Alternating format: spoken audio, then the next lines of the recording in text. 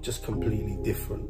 When I think of Taz Stereo Nation, I think king of fusion Asian pop. Taz was miles ahead of us. He was already on to the next thing. He was already pioneering, doing his own thing. I mean, I, I mean, we remember Johnny Zee, don't we? Or for when I heard him, he was Johnny Zee. I remember I was a little, little kid. My brother brought this tape, Johnny Zee. And it was a funky looking tape. And I listened to the tune. And, you know, I was listening to Bally Sagoo, Apache Indian, Malkit Singh, but this was something different, you know? Taz, we'll always love you, bro. We'll always miss you.